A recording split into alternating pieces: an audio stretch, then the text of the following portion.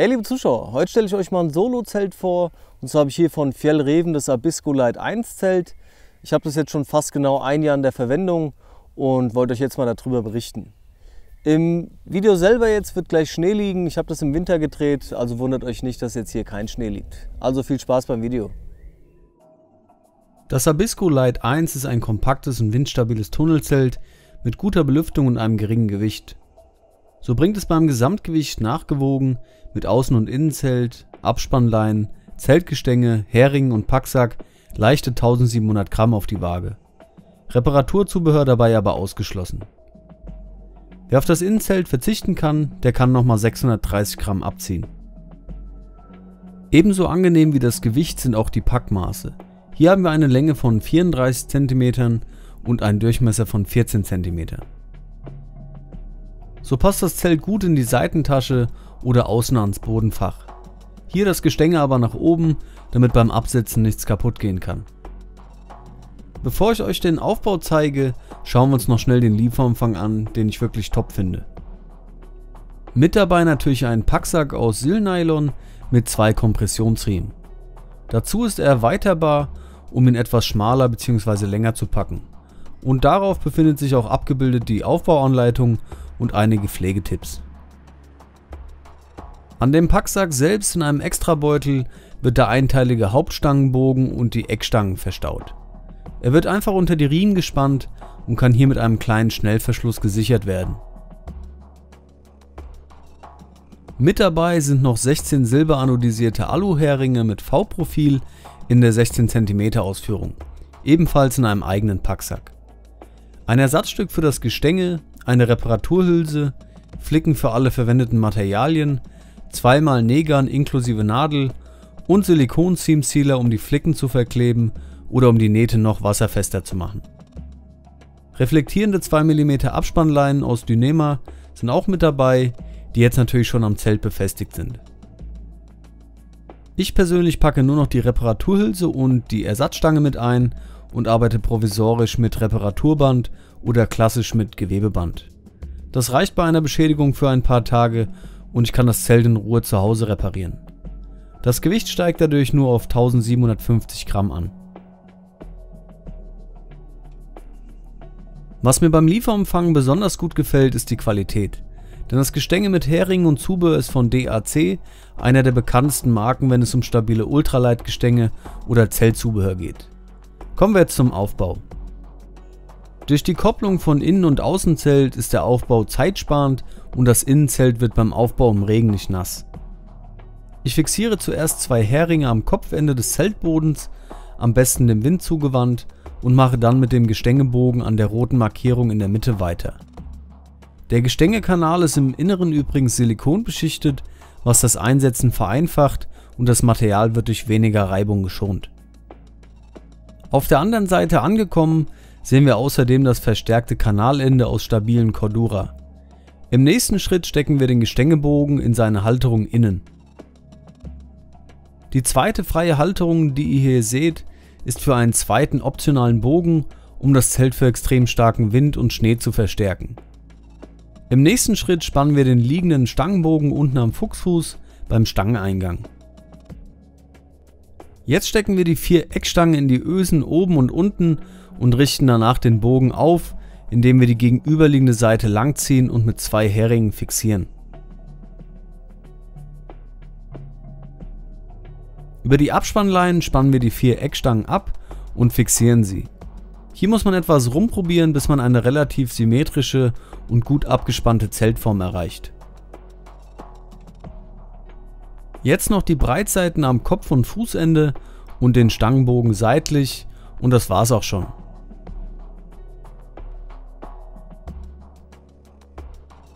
Wenn alles abgesteckt ist, kann bei Bedarf über die Schnellspanner nachgespannt werden.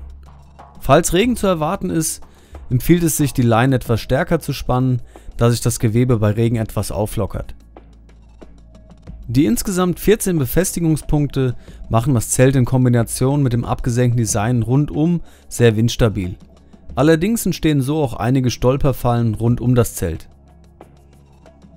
Jetzt mal etwas mehr zu den Materialien. Das Außenmaterial mit 20D Triple Rip aus 100% Polyamid, ist beidseitig doppelt mit Silikon beschichtet und besitzt eine Wassersäule von 3000 mm.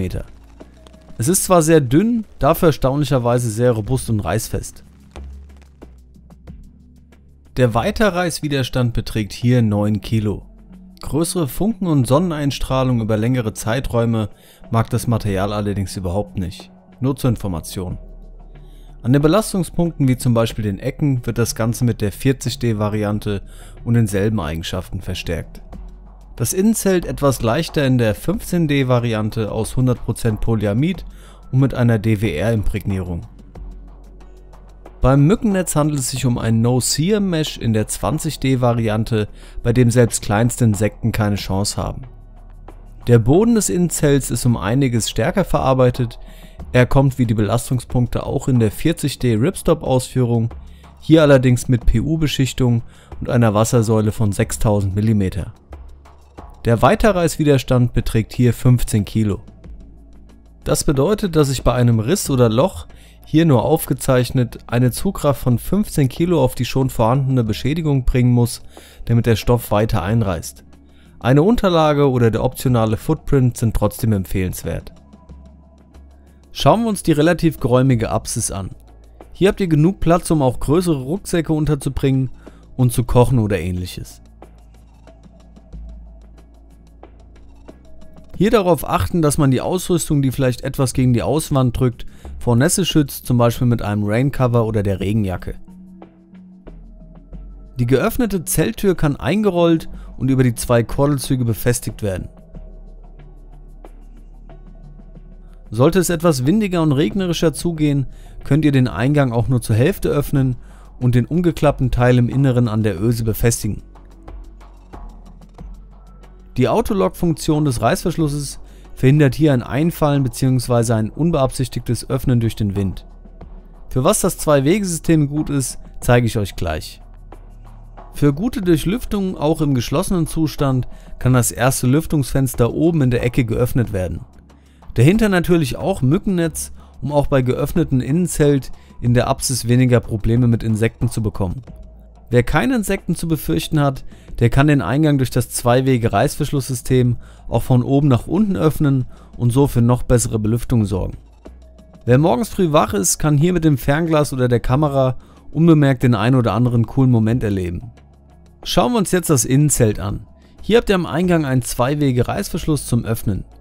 Die Bodenwanne ist hier übrigens auf ca. 5 cm Höhe gesetzt und verhindert so, dass kleinere Tiere und Regenwasser ins Innere gelangen. Die Leinen, die ihr hier seht, halten das Innenzelt in Position und spannen es. Von innen kann hier entweder der gesamte Eingang hochgerollt werden oder aber auch nur das Innenmaterial, sodass nur das Moskitonetz übrig bleibt. Fixiert wird das Ganze wieder mit Kordelzügen. Zur weiteren Belüftung gibt es im Kopf- und Fußbereich Reißverschlüsse, um an die Belüftungsöffnung des Außenzelts zu gelangen. Hinter den geöffneten Laschen verbirgt sich wie beim Innenzelt ein Moskitonetz. Auch hier wieder Kordelzüge, um alles ordentlich zu befestigen. Ein komplettes Öffnen ist allerdings nicht möglich. Neben Warnhinweisen für die Anwendung gibt es im Inneren noch mehrere Netztaschen. Einmal hier in der Mitte, auch im Liegen gut erreichbar, dann noch am Fußende auf der rechten Seite, etwas größer und länglich und über dem Kopf an der Decke. Hier finden wir auch noch ein weiteres Belüftungsfenster mit Moskitonetz, das allerdings nicht verschlossen werden kann. Auf der Trockenleine im Deckenbereich könnt ihr leicht feuchte Kleidung trocknen oder aber auch eine Lampe aufhängen. Bevor wir zum Fazit kommen, noch ein bisschen was zu den Innenmaßen und dem Platzangebot. Im Inneren beträgt die Länge 240 cm, so habe ich Platz für meine 200 cm Isomatte und noch etwas Stauraum am Fußende. Die Höhe beträgt in der Mitte 90 cm, das reicht für mich mit meinen 1,80 zum Sitzen, allerdings mit leichtem Deckenkontakt. Die Breite mit 90 cm in der Mitte und 50 cm am Fuß- und Kopfende ist in Ordnung, so dass noch etwas Ausrüstung oder Bekleidung am Rand abgelegt werden kann. Kommen wir jetzt zum Fazit.